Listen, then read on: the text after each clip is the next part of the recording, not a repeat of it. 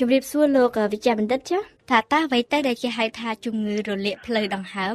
វាខុសគ្នាយ៉ាងដូចម្ដេចជាមួយនឹងជំងឺរលាកតោងសួតណាចាការនិយាយជំងឺរលាកផ្លូវដង្ហើមគឺជាពាក្យមួយដែលសំដៅទៅលើជំងឺរលាកតោងសួតជំងឺរលាកសួតហើយនឹងជំងឺ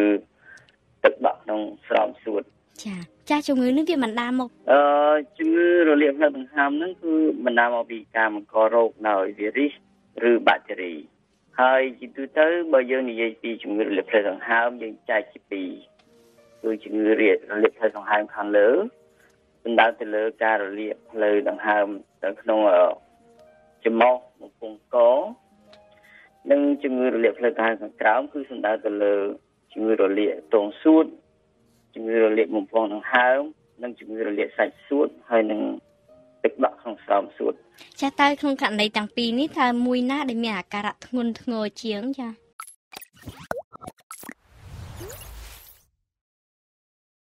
ជំងឺរលាកផ្លូវដង្ហើមខាងក្រោមវាមានសភាពធ្ងន់ធ្ងរជាងជំងឺរលាកផ្លូវដង្ហើមខាងលើជាទូទៅកុមារចាប់ដើមមានជំងឺរលាកផ្លូវដង្ហើមខាងលើជាមុនសិនទើបបានគាត់មានជំងឺរលាកផ្លូវដង្ហើមខាងក្រោមបន្តក្នុងរយៈពេល ពី3ថ្ងៃក្រោយមកហើយជំងឺរលាកផ្លូវដង្ហើមខាងក្រោមវាអាចបណ្ដាលឲ្យមានវិបត្តិផ្លូវដង្ហើមហើយកុមារត្រូវការអុកស៊ីហ្សែនហើយនឹងអាចឲ្យកុមារស្លាប់បាន ចាអំបញ្ញមិញលោកវិជ្ជមរិទ្ធមានប្រសាសន៍អំពីតែកុមារដូច្នេះមានន័យថាអ្នកជំងឺដែលទទួលរងគ្រោះងាយនឹងកើតជំងឺនេះជាងគេគឺជាកុមារមិនថាអញ្ចឹងចាតាមមកពីមូលហេតុអ្វីដែរចាជំងឺរលាកផ្លូវដង្ហើមវាអាចកើតនៅគ្រប់វ័យប៉ុន្តែគេសង្កេតឃើញថា កុមារនៅក្រោម5ឆ្នាំងាយនឹងរងគ្រោះចំពោះជំងឺរលាកផ្លូវដង្ហើមជាងគេតាមមកពីមូលហេតុអ្វីដែរទៅចាមូលហេតុយើងអាចគិតជារួមគឺប្រព័ន្ធការពាររាងកាយរបស់កុមារនៅមិនទាន់ពេញវ័យហើយកុមារស្ថិតនៅក្នុងវ័យលូតលាស់ជាពិសេសកុមារក្រោម2ឆ្នាំងាយនឹងមានមានរលាកជំងឺរលាកផ្លូវដង្ហើមខ្លាំងហើយពី2ឆ្នាំទៅ5ឆ្នាំអត្រានៃរលាកផ្លូវដង្ហើមបានថយចុះ ហើយវាលើសពី5ឆ្នាំទៅអាការរលាកកាន់តែថយតទៀត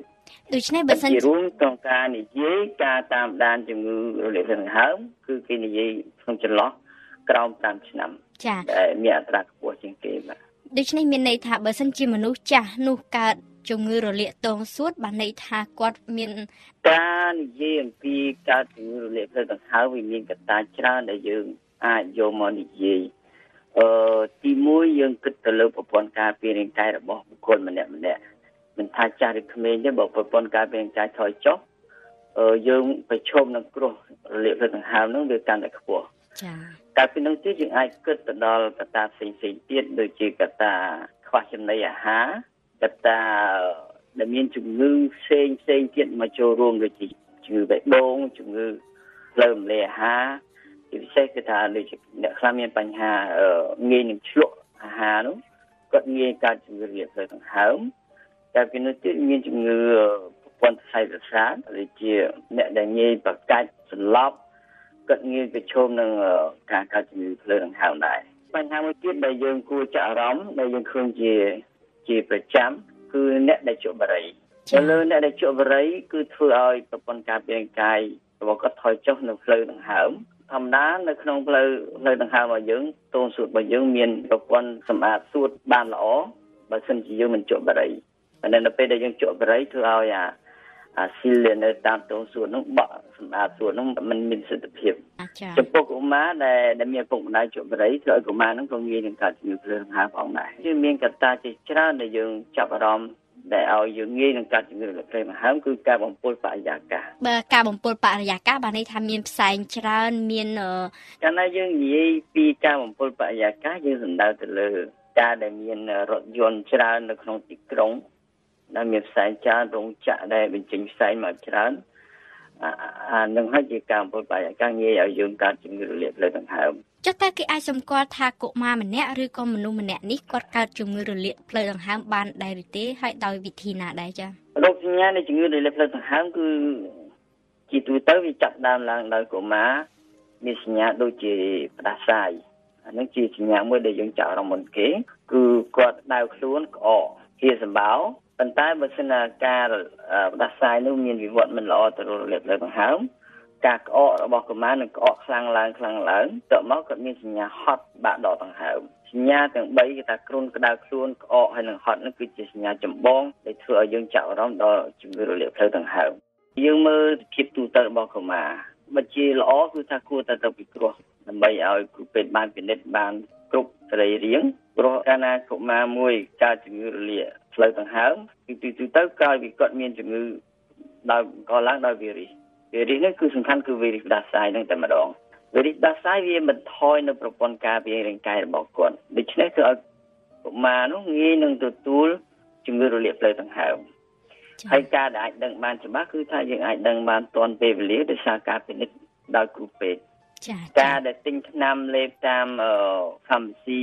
ដោយគ្មានវិជ្ជាវិទ្យាអានោះគឺជាការមួយដែលជាទូទៅធ្វើឲ្យងឿរលាភហើយវិវត្តទៅធ្ងន់ធ្ងរហើយមកដល់ពេទ្យយឺតពេលវេលាបាទ ចាចាតើអ្វីទៅដែលជាចំណុចសំខាន់និងជាសញ្ញាគ្រោះថ្នាក់សំខាន់បំផុត ដែលមេដាបេដាគួរតែចងចាំនិងគិតគូរបញ្ជូនកូនទៅទៅមន្ទីរពេទ្យជាបន្ទាន់នោះចាទីមួយយើងត្រូវស្គាល់ថាសញ្ញាសំខាន់អ្វីខ្លះដែលតកតងជំងឺរលាកផ្លូវដង្ហើមទីមួយគឺគឺការក្អក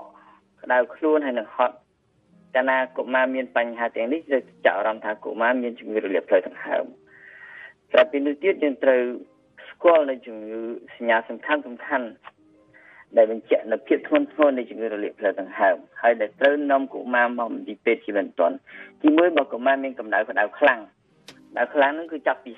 38អង្សាសេកន្លះឡើងទៅគឺហៅថាក្តៅខ្លាំងមួយទៀតគឺយើងមើលចង្វាក់ដង្ហើមកុមារញាប់ខ្លាំង